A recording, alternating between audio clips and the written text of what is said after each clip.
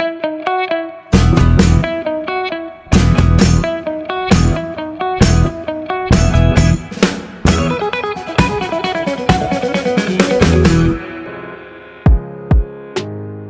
Assalamualaikum warahmatullahi wabarakatuh. Jumpa lagi dengan saya guys Cak Mujib. Gimana kabar teman-teman semua? Semoga sehat selalu dalam lindungan Allah subhanahu wa ta'ala. Dijauhkan dari segala mara bahaya Malapetaka, bencana dan balak Serta berbagai macam penyakit. Amin amin ya rabbal alamin. Oke guys Kalau teman-teman melihat mata saya agak bengkak satu Ya maklum ya guys ya. Ini habis main sama anak saya. Jadi bengkak seperti ini. Dia mainan tapi nggak sengaja gitu. Kena ke Apa pelipis saya ini ya guys ya. Semoga nggak apa-apa ya guys ya Oke, kali ini kita akan mengaji lagi bersama Ustaz Syamsul Debat ya guys ya. Kita nak tahu apa yang uh, disampaikan oleh Ustaz Syamsul Debat dan semoga video ini bermanfaat untuk kita. Jangan di skip karena setiap kebaikan ketika kita mendengarkan ceramah pasti akan kembali kepada kita ya guys ya dan kita pasti akan mendapatkan kebaikan itu sendiri. Nah, tanpa berlama-lama, langsung saja guys kita play videonya. Let's go. Bismillahirrahmanirrahim kurniakan kepadanya jalan-jalan ke syurga. Amin. Mohon sekalian, hari ini tajuk yang telah diberikan adalah dunia digapai, akhirat digenggam.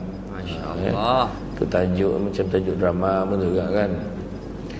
Kan dunia digapai, akhirat digenggam. Apa maksud gapai? Maksud gapai dari segi kamus Dewan Bahasa dan Pustaka edisi yang kelima adalah mencapai mencapai tercapai mencapai atau meraih meraihkan ya? manakala genggam pula satu perbuatan menggenggam menyimpan ya. ya memastikan ia tidak terlepas dan sebagainya itu sebab disebut berada di dalam genggaman nah, maknanya tidak terlepas jadi makna kata ada beza sifat gapai dan juga genggam sifat gapai ni gapai ni capailah mana yang boleh Betul. Cuba capai dia kata kan. Mana yang kita dapat? Dapat tak? Dapatlah sikit dia kata. Ha, sebab tu je capai. Tapi kalau kita kalau kita kejar pula yang perkataan genggam tak maknanya mesti kena dapatkan. Dan mesti kita simpan. Itu sebabnya kalau kita kena faham dunia ini adalah merupakan tempat yang orang kata yang direbut kadang-kadang oleh manusia. Imam Al-Ghazali menggambarkan dunia ini macam sebuah pulau. Yang mana sebuah kapal berhenti pada pulau itu di pulau itu turunlah semua ahli-ahli kapal anak-anak kapal ni turun dan dah dipesan oleh ketua kapal.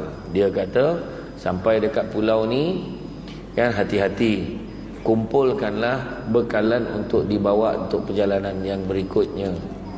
Jangan kamu terpedaya dengan keindahan makanan hiasan kecantikan dan juga godaan. Hati-hati dia kata. Jadi bila yang turun ke pulau tu kata Imam Al-Ghazali ada tiga golongan. Golongan yang pertama golongan yang tak pedulikan apa juga godaan dia ikut pesan kapten tu tadi. Kapten kapal tadi ketua kapal tadi iaitu dia ambil cari kumpulkan kumpulkan walau apa pun godaan datang dikumpulkan untuk nak bawa dalam perjalanan berikutnya itu golongan pertama golongan kedua orang yang masuk turun cari bekalan, bekalan tapi bila nampak godaan dia terpedaya. Bila terpedaya, terpedaya, terpedaya, akhirnya dia tersedar. Oh tak lama lagi dah nak berjalan kapal ni, aku tak ada bekalan lagi. Maka dia insaf, dia saat-saat akhirnya, maka dia cubalah kumpulkan bekalan mana yang sempat. Manakala golongan yang ketiga, terleka dia dengan godaan dan juga dan cubaan yang ada di pulau itu, dia leka dengan apa yang ada di pulau. Akhirnya ketika semboyan kapal itu dibunyikan, tandanya kapal itu sudah setiap bersedia nak meneruskan perjalanan. Pada ketika itu barulah dia sedar yang bekalannya masih belum ada. Dan pada ketika itulah dia menjadi orang yang sangat rugi. Macam itulah kita kat dunia ni. Allah. dunia ini sementara sifatnya apatah lagi yang ada di dalam dunia sesungguhnya dunia ini memepar, memaparkan menyediakan menghidangkan kesenangan yang memperdayakan. Itu Allah Taala sebut dalam Quran. Memperdayakan kita je. Dia macam kita naik kereta lah dekat jalan raya dekat hujung tu nampak macam bertakung air. Rupa-rupanya biasan cahaya tu menyebab nampak macam air tapi sebenarnya kering kontang apa pun tak ada. Macam itulah dunia ya jadi makna kata apa yang kita kena sediakan kita tengok dalam surah asy-syura ayat yang ke-20 apa Allah Taala beritahu? Allah Ta'ala beritahu maksudnya barang siapa yang mengejar keberuntungan akhirat nescaya kami akan tambahkan keberuntungannya itu. Siapa kejar akhirat tambah keberuntungannya mana? Apa? Maknanya dunia pun dapat bila kejar akhirat. Namun barang siapa yang mengejar keberuntungan dunia nescaya kami akan berikan sebahagian sahaja daripada keuntungan dunia itu dan takkan ada satu bahagian pun untuknya di akhirat kelak. Wow. Jadi mana nak? Kerja akhirat dunia pun dapat, kerja dunia dapat sikit, akhirat, akhirat langsung tak dapat apa. So mana yang kita nak? Tu sebab jangan kita rasa aku ni dah tua-tua baru sampai masjid. Okey-okey tu. Okay, kategori kapal tadi yang kedua tadi. Dua lah. Kan? Dah tua-tua baru sampai. Okey lah. Orang tu langsung tak sampai. Tua-tua kelab dan lut lagi. Nak cakap apa? Kan? Tua-tua sibuk lagi pergi fanfare kan? Tua-tua sibuk lagi pergi disco kelab malam. Ha, nah, macam mana? Ada tak? Ada. Ada. Ha. ha. Saya dulu waktu saya bekerja dulu saya bersama dengan pejabat agama dengan SPRM dengan AADK bila kita sembuh kelab malam tu kan kelab dandut terutamanya oh yang tua-tua ramai bukan yang muda kelab dandut ni Ya betul. Dia punya berjoget itu kan. Oh ya dahsyat. Kita tak tahan bunyi speaker tu. Bingit tengok dia boleh paluk speaker tu. Macam mana boleh paluk speaker tu? Sebab tahap air yang ditolan pun tak tahulah. kan menyebabkan dia lupa diri dia. Jadi itu sebabnya kalau kita kerja dunia ni kesedangan yang memperdayakan. Yalah macam mana tak memperdayakan? Cuba kita tengok. Contohlah soalan saya tanya. Cuba tengok apa yang ada dekat tangan kita. Ada yang pakai gelang, ada yang pakai jam, ada yang pakai macam-macam lah. Kan? Ada yang pakai jam lah paling tidak. Orang perempuan ada pakai gelang. Kalau ada cincin, ada pakai cincin. Soalan saya tanya, kalau pakai cincin, cincin siapa tu kita tanya. Jam ni, saya kita tanya, jam siapa tu? Kita pun jawab. Dengan yakin ni, jam ni jam saya. Saya beli. Soalan yang kedua tangan tu siapa punya? Ah sudah. Tangan, tangan pun bukan kita punya. Macam mana boleh mengaku jam tu kita punya? Betul sih soalan yang paling simple kan kita kena fikir balik kan? Saya pernah ditanya soalan tu dulu. Masa budak-budak ada, ada satu sazah tanya saya. Jam tu siapa punya. Saya punya. Saya punya. Tangan pun Allah Ta'ala punya. Tak iya pula. Betul juga dia cakap sazah tu saya kadang-kadang kita tengok yang itu cukup lah kalau betul tu sebabnya bila kita mati je inna lillahi wa inna ilaihi rajiun. Daripada Allah dia datang kepada Allah dia kembali. Tu sebab jangan simpan lama-lama. Orang yang dah meninggal dunia jangan ditahan-tahan. Tunggulah dulu anaknya seorang belum sampai. Bila sampainya tiga hari lagi. Kan tak ada kerja tu. Jangan simpan lama-lama. Kalau boleh jangan lebih tiga waktu solat. Kan sebab bila Allah dah jemput dia tu Cepat-cepat segerakan. Sekarang kan senang. Dah ada boleh buat video call. Video call lah. Mana tu melambai pula jenazah tu. uh, uh, bye bye. Contoh tak ada. Allah. Kan? Kadang orang sekarang ni polik-polik kan. Ha, tu dia. Jadi itu sebabnya. Kalau kita tengok dekat situ. Maknanya nak bagi tahu kesenangan yang memperdayakan apa yang kita kejar ni untuk apa? Ha. Berebut makanan, kecil hati, kecil hati sebab tak dapat makan benda itu ada orang lain semua ambil dia tak dapat. Dia marah. Kenapa dia marah? Aku penat-penat masak kan? Sekali bahagian aku tak ada. Sebulan tak datang masjid. Ha, sebab malam tu serbat nak datang. Jadi dia ke tukang masak. Masak ramai-ramai. Sekali tak dapat makan. Marah Mihun je pun. Apa yang kau marah sangat? Macam mana kau tak boleh beli mihun sendiri? Contohlah Dan kalau ya pun lah Even if kat bak kata orang perak. Even oh, if. Olan mihun sudah jadi taik ya Bukan? Contoh lah kan Kau ayat kasar lah kan. Ah. Apa yang kita robot mana? Betul tak Nabi sendiri buat makan ni Nabi macam mana? Nabi siap ambil batu-batu Lilit ni Lilit ke perut Nabi Biar Nabi lapar pun tak apa Tapi sebab nak sebarkan dakwah untuk umat dia Contohlah, mihun punya hal. Apa yang kita nak? Tengok mak ayah kita dulu-dulu. Tak ada kisah pun. Iyalah. Tak ada apa pun. Hebat mak ayah dulu-dulu ni. Dia tak makan pun tak apa. Janji anak dia makan. Betul. Mak dah makan tadi. Ayah dia. Wahal mak masak eh. Tak ada siapa pun nampak mak tu makan. Ya, rupanya mak minum je tu mak dulu slim-slim. Mak sekarang lebar-lebar. Kan? Lebar. Mungkin ya kalau mak-mak zaman dulu itu banyak tirakatnya supaya uh, anaknya jadi bagus gitu kan. Kalau anak uh, mak-mak sekarang tuh makan je lah, oke. Okay? Oh macam tu lah. Tapi uh, tapi kalau masa dulu, kalau masa saya dulu ya guys ya, itu bukan bukan sebab uh, apa nama tu nak nak nak puasa ke nak kurang makan. Tak memang memang memang susah nak makan.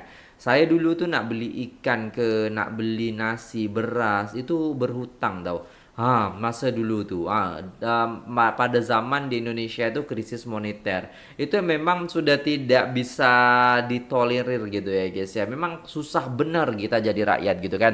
Dan masa itu kita memang uh, kekurangan seperti itu. Macam ikan, saya, bapak saya dan kakak saya tuh itu semua cari ikan kat pantai. Ha, macam tu. Lepas tu beras pun itu berhutang. Ha, kadang beras jagung, nak nak nak nak jumpa beras putih pun ha, itu padi pun wah susah sangat masa dulu-dulu tu. Tapi alhamdulillah kita boleh hidup sampai sekarang ya kan. Ha, berkat perjuangan daripada ha, bapa kita, ibu kita ya kan. Masya-Allah Allahu akbar. Okey, kita lanjut ya guys ya. Masya-Allah. Pantaslah kalau dulu-dulu mak dulu-dulu dulu slim kan. Sekarang uh, mak-mak sekarang besar. Lebar macam tu. Tapi okeylah. Tanda tanda isteri tu bahagia adalah badan dia besar. Itulah kalau pepatah Arab mengatakan macam tu guys. Tak bukan orang sini, tempat lain. Ah, tempat ya? lain. Macam tu. Jadi mana kata manusia ni semua menginginkan kehidupan yang bahagia di dunia dan di akhirat. Tu tadi capai tadi, capai je lah mana yang boleh ha. sekadar tetapi Nabi ajar kita boleh capai yang kat dunia ni tapi ambil sekadaran untuk bekalan bawa ke akhirat. Betul. Analogi yang paling senang faham tengok sahabat-sahabat kita Abang Ila, Abang Ima, Abang Ipal. Tahu? Abang Ila, Abang La. Abang La. Abang Ima, Myanmar. Kan abang Ipal Nepal kan. Dia orang ni datang ke negara kita Malaysia, dia diburuh kasar. Kita tengok dia makan nasi letak kuah kari je. Tak ada lauk pun, tak ada dah heran dia nak ayam ni, nak ikan ni, nak bagian kepak peha, tak ada. Nasi kuah jadilah dia letak bawang sebiji. Mungkin. Makan, makan, makan, minum air masak. Dah minum air masak, duit gaji yang dia pakai tu tak luar adalah singgit berapa je bayar duit duit nasi tu je. Mungkin. Ha. Balance dia mah setiap hari, dua hari sekali, seminggu dia bank in kan. Hantar balik, balik ke kampung halaman dia. Sebab dia sedar Malaysia bukan tempat tinggal. Tempat tinggal dia itu kampung dia Bangladesh, Myanmar, Myanmar Filipin, Nepal. Ha, dia tahu tu kampung dia. Dia bukan dia peduli ada dia pakai nak pakai macam kita baju kena kena color dengan baju dengan kopiah dia dengan kain tak ada dikira tu betul dia boleh berjalan dengan kawan-kawan yang pergi ke pekan ni pergi ke pekan Teluk Intan baju biru seluar kuning kasut hijau dia tak kisah jalan sesama jantan pegang tangan minta jalan apa dia peduli sebab bukan tempat dia pun tak ada dia kisah lah. Allahumma salli ala sayyidina Muhammad dah selesai videonya dan itulah tadi ya guys ya Kenapa mak-mak uh, masa dulu tu slim-slim, mak sekarang lebar? Tapi bukan itu. Pokok pembahasannya itu bukan itu ya guys ya. Pokok pembahasan kali ini tu daripada Ustaz Samsul Lebak adalah macam mana kita dalam menyikapi dunia ini. Sebab kita ni kan, ha, kata Imam Ghazali tadi, kalau kita ni macam uh, dekat kapal lepas tu uh, singgah dalam satu uh, singgah dalam satu pulau macam tu ya guys ya. Ha, ada tiga tipe. Yang tipe pertama adalah untuk bekalan ya dibawa untuk perjalanan selanjutnya iaitu maksudnya adalah ketika kita mati ya guys ya. Kita di dunia ini kalau kita hidup di dunia ha bawa bekalan-bekalan akhirat. maka insya-Allah kita akan selamat. Yang kedua adalah terbuai dengan kehidupan dunia tapi lepas tu dia sedar, ha, dia sedar akan bekal akhirat ataupun bekal nak naik kapal tadi kan. Nah, itulah Ha itu kalau kita masuk dalam kategori yang kedua okeylah masih okey. Tapi yang ketiga ni naudzubillah min dalik kita terbuai di situ dan ketika kapal dah nak berangkat baru kita tersadar. Nah, maksudnya dalam uh, kehidupan kita ni kita terbuai dengan kehidupan dunia, tak pernah memikirkan akhirat. Ketika ya kan? Ha nafas kita, nak nyawa kita berada dalam kerongkongan, ha lalu kita ingat bahawasanya kita nak mati, kita nak bekal, eh, dah tak boleh macam tu eh guys ya. Allahu akbar. Jazakumullah Ustaz uh, Syamsul Lebat yang sudah mengingatkan kita, sudah memberitahu kepada kita, menasihati kita macam mana kita dalam kehidupan dunia ini ya guys ya. Inna Allah la yakbalu taubata abdin malam yaghargir. Allah subhanahu wa ta'ala tidak akan menerima taubat seseorang apabila ya nafas berada dalam kerongkongan ataupun nyawa itu berada dalam kerongkongan. Itu dalam hadis Rasulullah sallallahu alaihi wasallam. Jadi mulai daripada sekarang nih guys ya kita persiapkan ya urusan dunia dan juga akhirat kita. Ya dunia tercapai, akhirat digenggam. Ah itulah temanya kan. Ha, jadi maka daripada itu kita uh, dalam mencari dunia sempatkanlah juga untuk uh, menyisihkan harta kita ataupun jasa kita ataupun uh, badan kita ni ya kan usahakan niatan kepada Allah Subhanahu Taala untuk akhirat untuk bekal akhirat. Kalau kita dapat gaji ya kan kita sedekahkan. Kalau kita ni kuat orangnya kalau kita boleh bantu sesama tetangga, sesama jiran, sesama orang-orang yang kita tengok dia memerlukan bantuan kita kita bantu kita tolong macam tu. Itu juga merupakan uh, bekal akhirat kita macam tu ya guys ya. Sebab uh, sebuah kebaikan sebanyak apapun kebaikan itu akan kembali kepada diri kita. Terutamanya yang sangat mudah sekali kita melakukan apa yang diperintahkan oleh Allah dan menjauhi larangan-larangannya itu sudah cukup ya kalau kita dah mentaati semua perintah Allah menjalani apa yang disunahkan Rasulullah wasallam dan menjauhi apa yang dilarang oleh Allah itu sudah menjadi bekalan kita nanti di akhirat insyaallah. Okey, itu dulu videonya guys. Terima kasih sudah tengok video ini sampai selesai. Apabila ada salah kata mohon dimaafkan. Saya pamit undur diri. Assalamualaikum warahmatullahi wabarakatuh.